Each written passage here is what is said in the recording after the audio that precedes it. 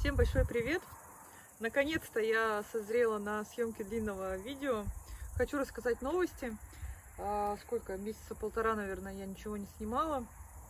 Хочу потихоньку возвращаться в социальные сети. Тут, конечно, многие изменения произошли а, за время моего отсутствия. Я даже как-то не успела отследить, потому что пока я была в роддоме, потом нас выписали, и как бы я вообще в интернете как-то потерялась, никуда не заходила. И потом вдруг выяснилось, что, оказывается, нас YouTube заблокировали. На самом деле это непонятная какая-то новость, потому что а, я сегодня попыталась загрузить ролик э, на YouTube, длинный ролик и шортс. И у меня никаких проблем не возникло с загрузкой а, без VPN, то есть спокойно все загрузилось. Я уж не знаю, как там будет с просмотрами. А, знаю, что многие не могут заходить в YouTube и смотреть ролики, но у меня почему-то все открывается. Да, бывают какие-то глюки там, а, когда листаешь шорты, а, не всегда открывается, но в целом, в принципе, все работает. Я не знаю, может быть, дальше будет хуже, но пока что как бы ситуация такая. Ну, скажу сразу по поводу социальных сетей.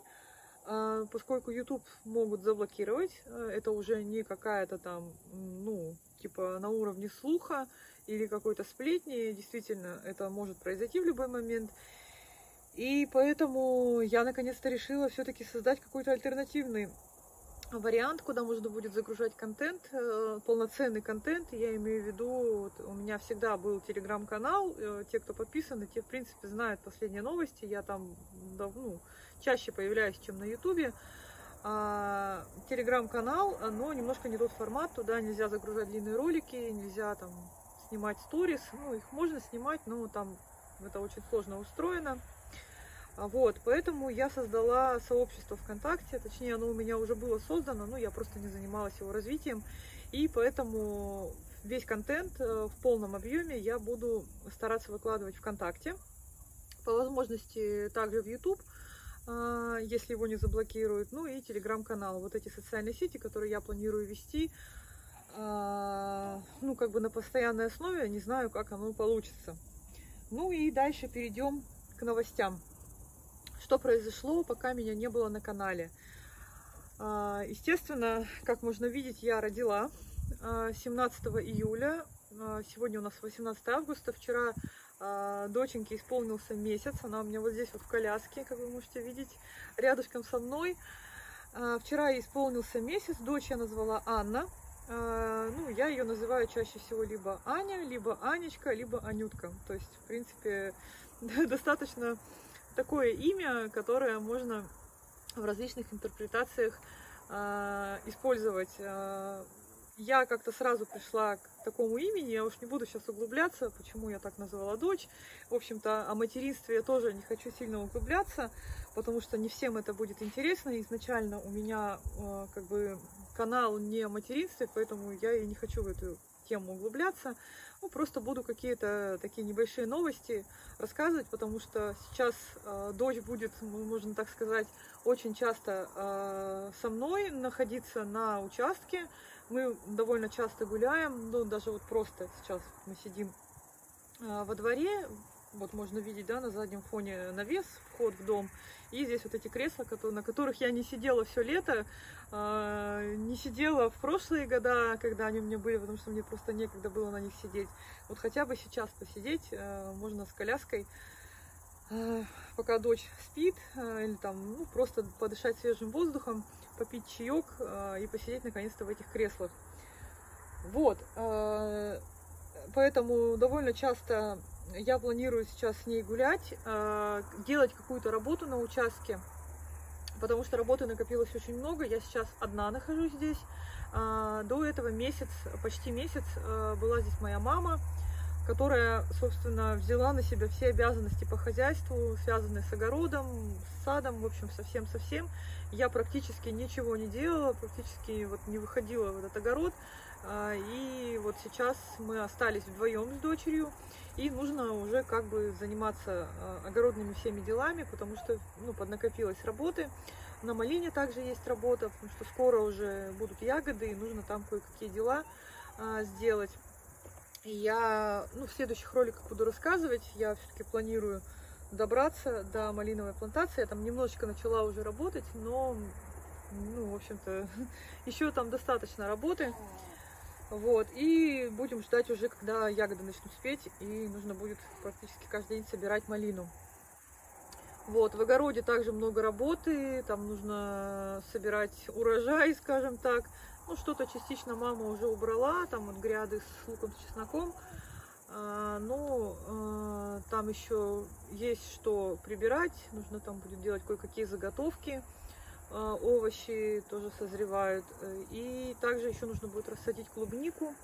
Есть небольшое количество рассады клубничной. Тоже мама постаралась, поставила стаканчики с рассадой и вот подготовила гряды. Сейчас вот мне нужно там будет сделать полив и, э, ну, в общем, доделать эти грядки и посадить рассаду. Тоже нужно время. Еще погода не очень позволяет работать. Вот сегодня я хотела выйти, сделать хотя бы полив для клубники. Э, светило солнышко вроде бы с утра. Пока я ходила, там кое-что снимала для ВКонтакте, в историях рассказывала там кое-какие огородные новости, скажем так, показывала, как там обстоят дела на огороде. Буквально там 20 минут набежала туча, пошел дождь.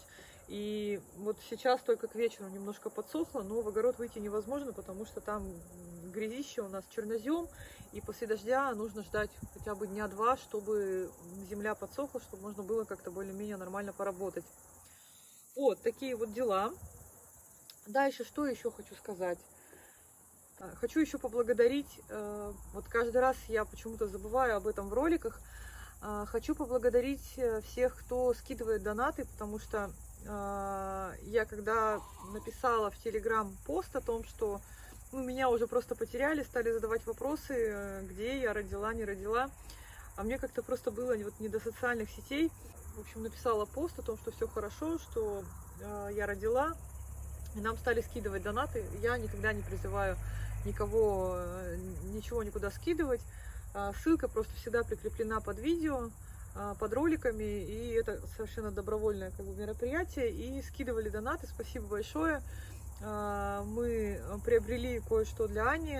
Очень много всего нужно для маленького ребенка. Я, честно говоря, всегда думала, ну, что там ребенку нужно. Много чего нужно, и постоянно какие-то покупки. Я вот а, не говорю сейчас про там на постоянной основе покупку подгузников, там, да, вот таких вот ну, средств гигиены, а, потому что это само собой, понятное дело. Сколько еще всяких мелочей, постоянно что-то я на Озоне заказываю, при том, что я стараюсь не брать никаких вещей, которые, в которых нет какой-то необходимости, ну, то есть э, что-то такое там, ну, типа развлекательное, беру только все самое необходимое, то, что действительно нужно и без чего невозможно просто никак. Вот, и да, конечно, постоянные какие-то покупки.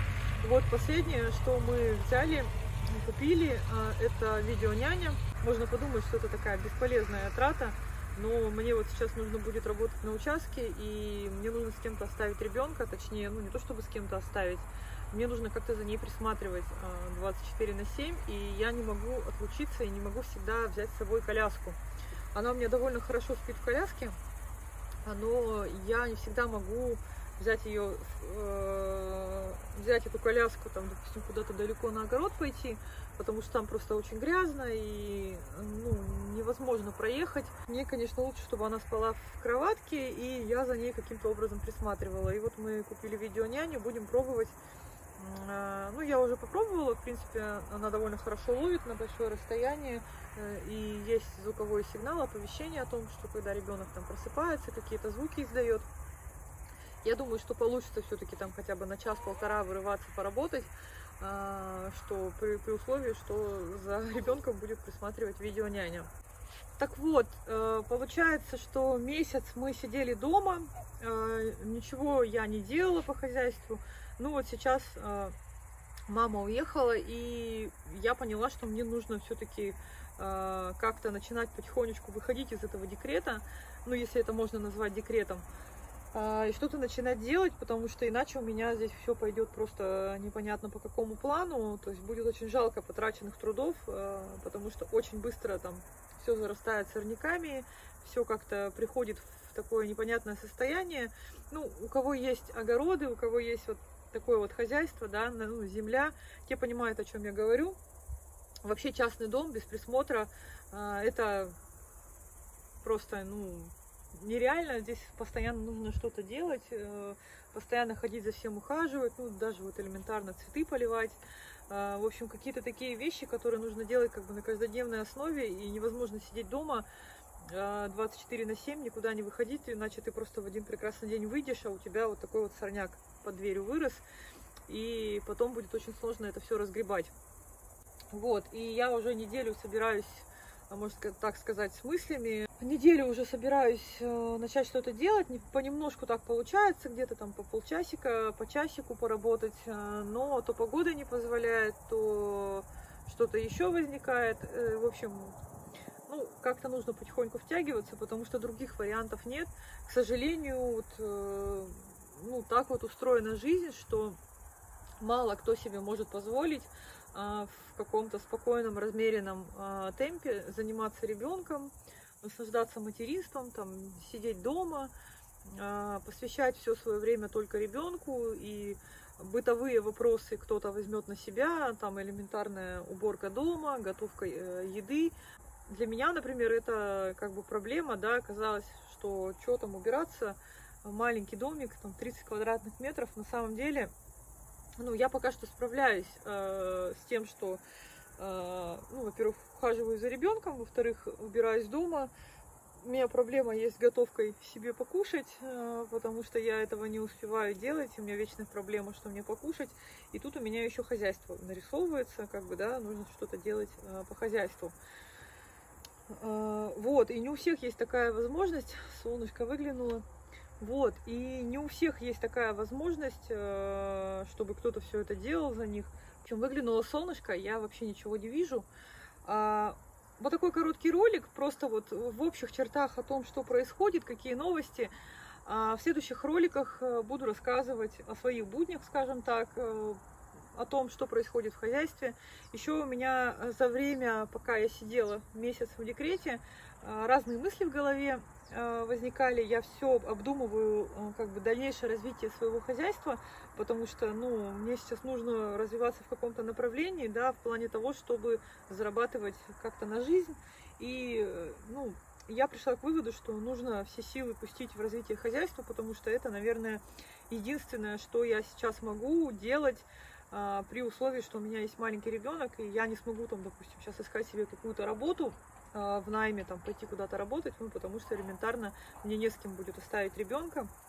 А, Свое хозяйство это самый такой вариант. Да, это будет тяжело, да, это будет э, как бы а, непонятно, как это все будет происходить, но есть как бы какие-то планы, есть какие-то мысли, э, в какую сторону развиваться, и ну, в любом случае придется что-то делать, придется где-то искать в себе силы, как-то э, распределять время, распределять свои силы, э, привлекать каких-то еще других людей для того, чтобы э, все развивалось и реализовывать все эти планы, которые я задумала.